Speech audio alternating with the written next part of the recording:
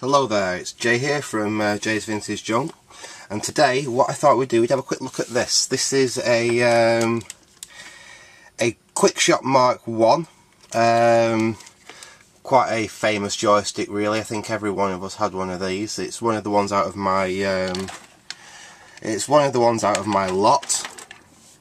Like I said, uh, I know I certainly had um, these as a kid on my um, computer. And someone uh, that watches my videos was asking about a, um, a Quickshot 1 joystick, uh, whether I'd be interested in selling one. And like I said, I don't sell them um, untested and just as is. So what I thought I would do is um, go through this one and um, see what's wrong with it, see what we can do about um, fixing it up and uh, just basically go over um, these Quickshot joysticks and show you um, what you need to do to clean them to get them uh, fully working. I've got this one currently connected up to my uh, little 2600 Junior there. That's the one I was showing uh, the S-Video um, mod on on the um, previous video. Actually, amazingly, that S-Video mod is actually fitted inside the case. That's all together now and it's actually got the plug-in board um, inside it but um, I've just got that connected up just so um, I've got something to um, test this joystick with.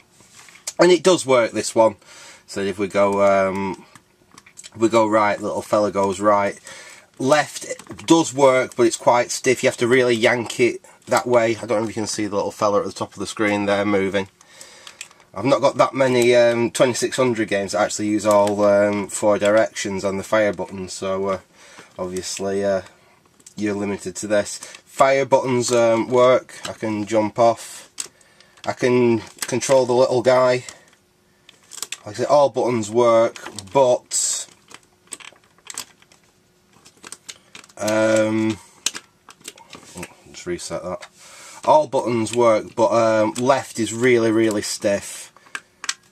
All the fire buttons work absolutely fine down works fine right works fine up works fine. But uh, like I said left's a bit um, left's definitely a little bit more temperamental than the other um, ways. So uh, let's uh, switch that off. Let's unplug this thing and we'll get into it. And we will um, see what we can do about that. Oh, let me uh, go back down onto it there. So we will uh, the feet are decent on it it actually does stick to the table um, quite nicely so the rubber suckers are all good on it um, well there's nothing wrong with that front fire button but we'll go in there first and we'll give that a quick clean up in there and then we'll get into the um, guts of it. Do this as well just so I show you what's inside one of these Quickshot um, Quickshot ones. They were a really cheap budget joystick but like I said they were they're what you had when you didn't have a huge amount of money. You could buy the I remember there was a shop in uh, my local town that had uh, these in them and uh, I think they were 4.99. They were the cheapest joystick you could buy in the local town. I mean, Tandy's you could buy, we had the local Tandy store there, uh, Radio Shack, as um, you have in America.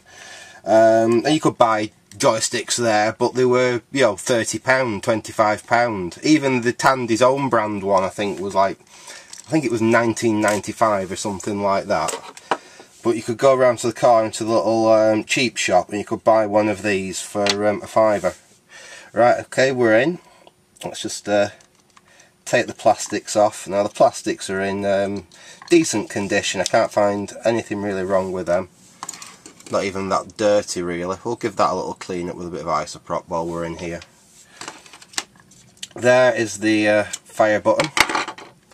And it's the same type of button, I don't know if you can see that. It's the same type of button as um, you find used on the Atari 2600 and um, countless other joysticks. There's a little metal metal dome pad on a contact and all we need to do with that is we just peel the tape away nice and gentle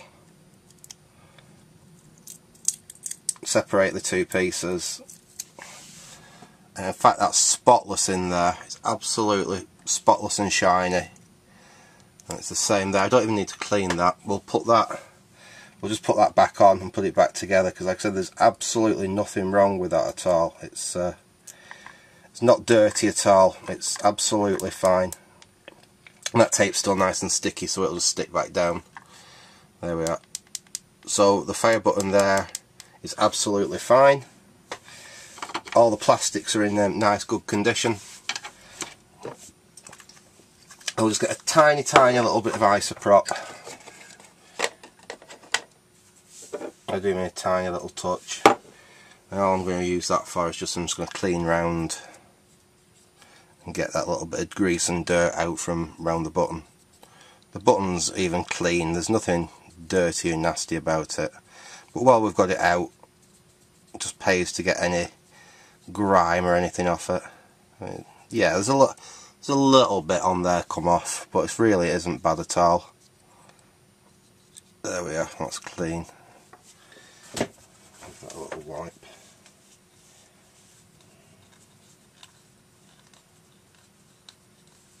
There we go, that's, uh, that's come up clean. So we'll put the board back in.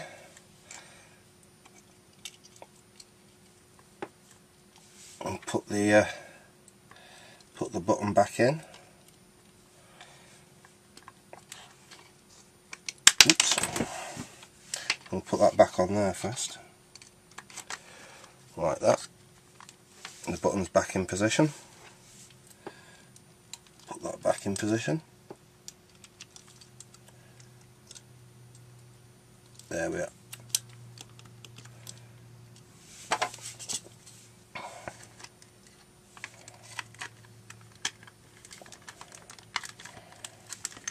I'll get that all all buttoned up right. Let's put the screws back in.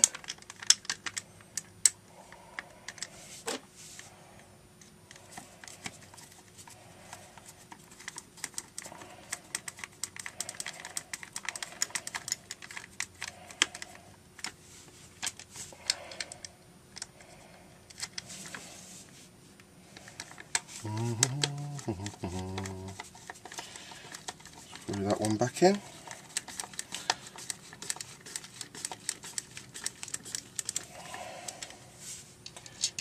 One.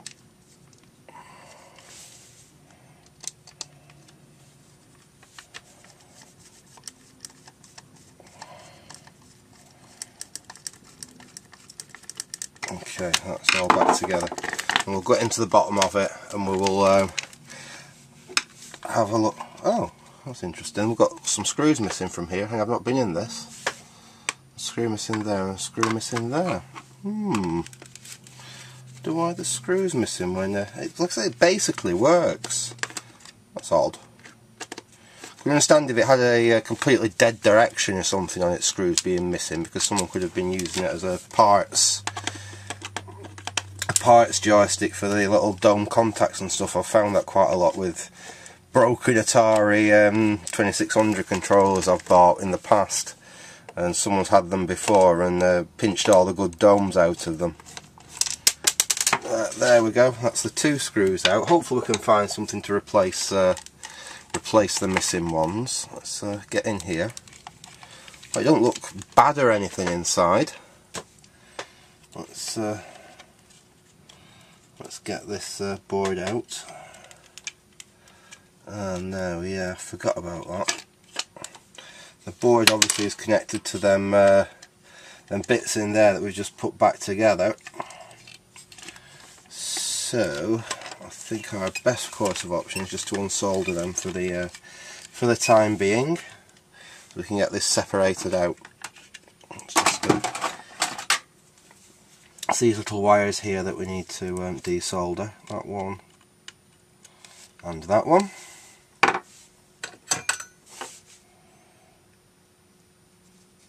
That's the first one off.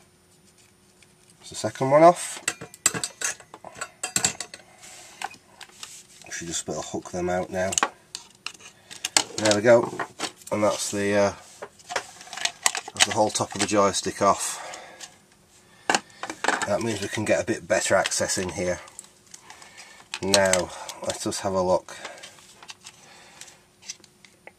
Now obviously, let me just get this right, the joystick is that way around, so there's nothing fancy about that no that is the uh, left left button there that's the right up and down. That's fire. In fact we'll switch the, uh, Atari oh I'm going to have unplugged it. Let's uh, plug that back into the Atari. Like that. And so the one that we're interested in is that button there because that's the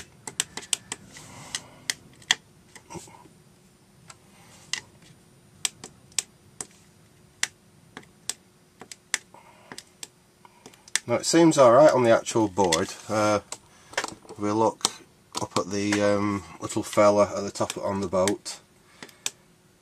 I don't know. It does just so no, it's not as good pressing that way. He um, he stalls pressing that way as where he's fine he's fine the other way. I'm not very good at um, doing this on um, just pressing the buttons, but yeah, no you have to press a lot further on the left hand um, button than you do on the right hand button to get him to move. So what we need to do is just get in there in that clean, switch the Atari back off, um, clean the contacts under there because that must be where the problem is. So let's uh, peel this up. Be careful while you do this, you don't want to uh, cause any damage and ideally you want to put this back. It's basically just packing tape so if you do ruin it you could just replace it with um, a good strong sellotape that is the one that's causing the problem right there. So let's uh, we've got that to a point where we can get it out? Come on off you come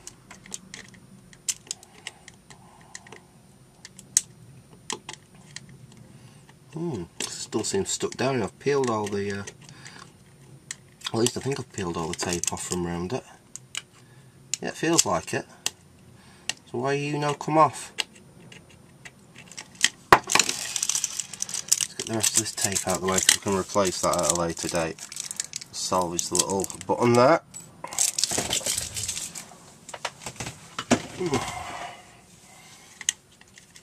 Let's see why this won't come off. I think it's got two layers of tape. Ah, there we go, it's moving now. There we come, out you come. And you can just see, I don't know if it comes out on the camera, but right in the middle of there, it just looks a little bit corroded. It does look like a little bit, uh,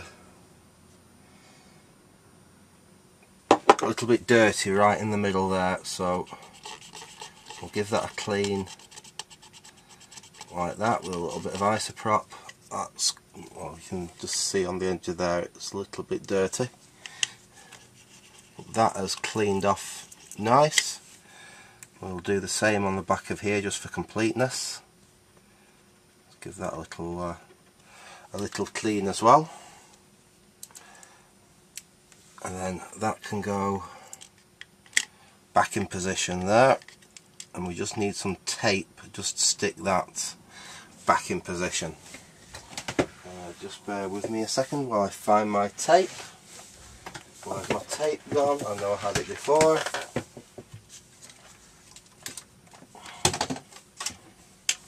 In that cupboard? No it's not. You, know, you get set up to do these things, you get all your tape all set up ready and what happens? It disappears. Uh, I think you're just to have to bear... Oh right, I'm back. Oh, sorry about that, but we managed to uh, find some tape. right, so we have uh, cleaned the uh, the suspect contact there. We've got our little um, domes. The domes are all still in absolutely excellent condition. Just get this old tape off them. But if you put the dome on the table and you press on it, you want to, you can hear that. That's how you know it's a good dome. If it doesn't make that little snap sound when you press on it, it's probably cracked and you need to find a um, dome off a scrap a scrap stick or something else that uses these little little spring contacts but them two are fine. And all the ones that are um, still on the stick are fine. It was just a little bit of um, dirty corrosion underneath that contact there which has cleaned off perfectly with a um, the isopropyl and a little bit of little bit of isopropyl on a, on a excuse me on a cotton bud. Let me learn to speak again. Right, so all we need to do is put them back in the joystick, and all I'm going to do is use good old-fashioned sticky tape. So we just break off a little uh, little piece of sticky tape like that. Put the switch in the centre of it and then all we need to do is position it back in position in the joystick like that. Now don't worry about a little bit of tape there because we can just take that off with uh, I'll use this um,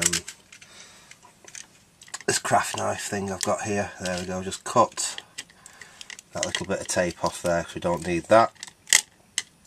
There we go. And that is that button back in position, cleaned up nicely underneath. We'll do the same with this fire button, we'll just stick that back where it needs to go. So once again, just need a little bit of um, sticky tape. And I can rip a little bit of sticky tape off here.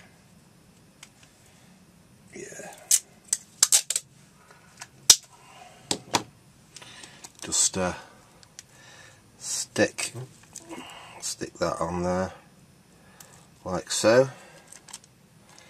And get that and line it up where it needs to live on there. Stick it down. And we can just uh, we need to get rid of the excess tape there because it's just covering where we're going to solder that wire back in a minute. So we just get the uh, the knife a little cut in it there. Tear that bit off there. Like that because we need them two contacts obviously to put the uh, other fire button back on and I'll just fold that round rather than rip it off but that button's back in position. They all feel okay now. All we need to do now is reattach this so we've got the two wires coming from the uh, from the fire button down down in the uh, base there. We've already checked that and it's absolutely fine. So what we need to do we need to feed them through there like that. You can see this on the camera. Feed them back through that little hole in the PCB of course we could have dis disconnected these at the other side up in the um, handle there but uh, it doesn't make a lot of difference. You just need to desolder them to make um, working on this a little bit easier. So you could possibly do it without desoldering them but it'd be a lot fiddlier than um, just taking them off and then soldering them back when you've uh, when you've finished. That's that one back in position.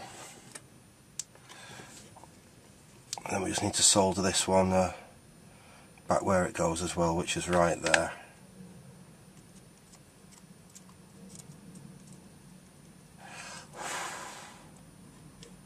Just like that. So that's the um, fire button connected back up. We can now reassemble the joystick. Oops, let's put the uh, the bottom fire button back in then line everything back up. I think that's looking good there. Something not quite ah that's it. There we are. There was a uh, post that just went through there and our um, our sellotape was stopping it going in but that's just pushed through now. So that's back in position. All we need to do now is uh, put the base back on. Get all this to line up. Helps you put the base back on the right way around there we go. That's the uh, and get it lined up right as well obviously. So slacken that off, push that out, just give that a little turn, put it back in. There we are. That actually feels better already. Can you hear that? That was the faulty uh, that was the faulty one. So I wonder if it just slightly shifted out of position as well as um, as well as having that bit of dirt underneath it because that actually sounds sounds better. Let's uh, screw this back together. One screw in. This is the second screw going in and we've got two screws missing so I think hopefully screw that in like that I will have something suitable over here. A couple of them. They're slightly shorter, but uh, I think they should still um, they should still suffice. Yeah, they'll like they'll do nicely. I always, whenever I scrap anything, I always um, save all the screws because you never know when you need them. Yeah, they fit nicely. They're, probably a couple of mil shorter than the originals but that won't really really matter yeah that that switch that wasn't actually clicking before is clicking now switch the old um, Atari on and we will try it on the Atari and see whether it's made any difference right that's uh, skin diver up on the Atari. And let's see whether our man moves. That's perfect now. It needs exactly the same amount of force to move left as it did to move right. So that's fixed. Yeah, I'm really pleased with that. Oops, he got eaten. Try that again. Yeah, I'm really I'm terrible at this game, but uh, he is definitely now working much much better he like I said he now runs he now runs left with a touch of the joystick rather than uh, as he was before down's fine right's fine up's fine but now he actually swims left without you having to yank the joystick all the way to the left so yeah I am I am definitely happy with that. That's as easy as these are to um, sort out. These are really nice, cheap, easy, basic joysticks.